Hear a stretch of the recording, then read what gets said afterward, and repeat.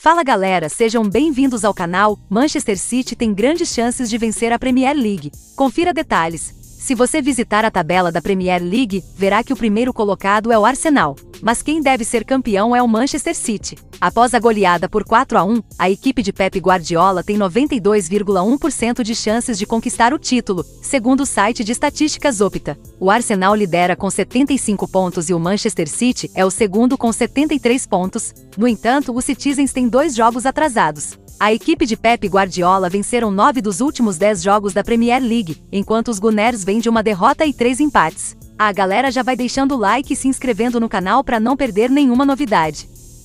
O Manchester City ainda tem sete jogos no campeonato inglês e pode chegar aos 94 pontos. Com os cinco jogos restantes, o Arsenal terá no máximo 90 pontos. Com seis vitórias nas últimas sete partidas, o time de Guardiola certamente vencerá. O Arsenal precisa vencer os cinco jogos restantes e torcer para que o City não vença três de suas sete partidas. O Manchester City conquistou quatro das últimas cinco edições da Premier League. O Arsenal não é campeão desde 2003, 2004. Então, galera, deixe nos comentários sua opinião sobre a notícia. Obrigada pela audiência e até a próxima!